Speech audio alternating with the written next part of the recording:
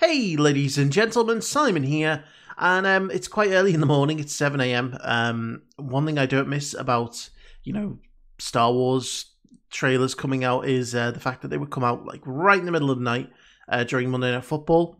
Um, it's like 2 a.m. for me when that normally comes out. And if this had been like a big movie, I probably would have stayed up to react to it. But um, we do have a sneak peek, a special look into The Mandalorian Season 2.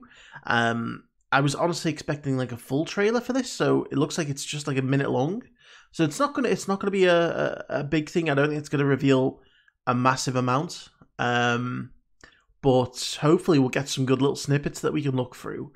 Um, obviously, with the first trailer, there was a lot of interesting stuff in there. There was a few things that I picked up on. I think a fair few people picked up on, and there's obviously been lots of rumors going around about who's going to be in season two and what's going on. You know, people seem to think that um, Sasha Banks, who played the mysterious hooded character in the first trailer, um, is going to be playing Sabine, one of our old Rebels favorites. Um, I'm less certain on that. I'm more thinking that she's going to play a force sensitive Jedi, like maybe not a Jedi, but possibly an apprentice, an early apprentice of Luke's, or someone who has force abilities, or maybe a former Inquisitor. Um, you know, but at the end of the day, she could well end up being Sabine. Um, I'm just not always 100% certain on the recasts. You know, like I always prefer to kind of leave characters as they are in the animated sort of series. But it would be cool to see them come to life. I won't, I won't doubt it. It's just, you know, you become so used to the voice actors playing them. Like Ashley Eckstein as Ahsoka um, is perfect. You know, if she was to be recast, it'd be difficult, uh, you know, in terms of like getting used to it. But at the same time, it'd be pretty cool to see, you know, those characters brought to life on screen. So it's a difficult one. It always is kind of difficult to be like, yeah, that would be cool, but also I've got some reservations. So um, we'll see exactly what they're going to give us here. But you know, I think he's going around looking for for Jedi. He's looking at Jedi temples.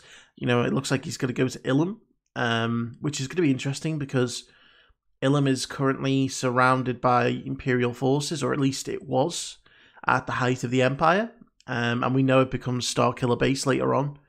Um, so it'll be interesting to see how he gets around any kind of Imperial forces there. But um, you know what?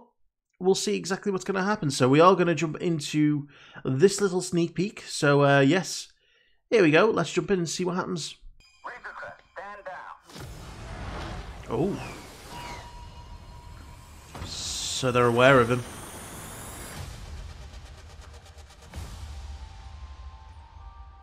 I'm here on business. I need your help. I've been quested to bring the this one back to its baby. If I can locate other Mandalorians, they can guide me. Okay, something for oh, okay. That maybe gives us an indicator as to that it is Sabine.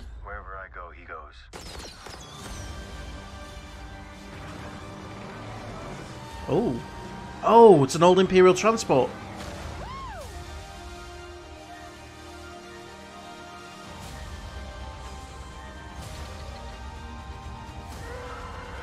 Here we go.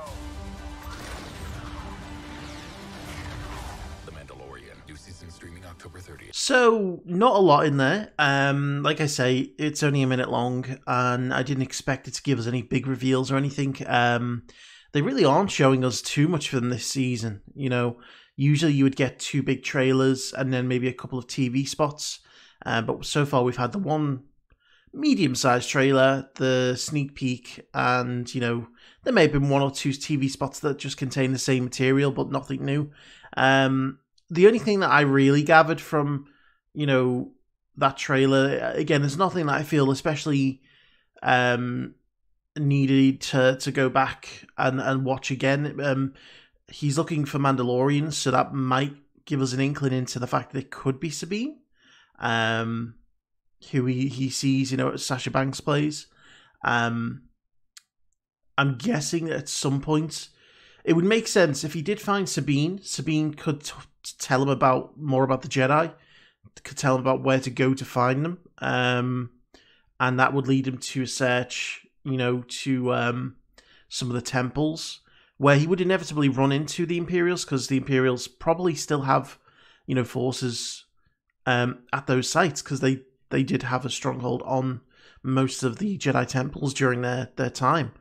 Um, I like seeing the old Imperial transport. We got to see a little shot of it in the first season, the one from Rebels.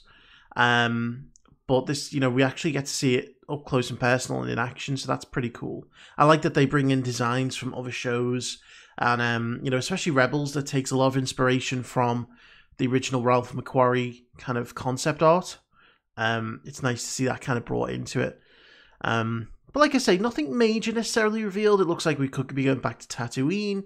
Um, as I say, there was a shot in the first trailer of some Mon Cala and some Quarren, so we could be going to Mon Cala. Um, who knows?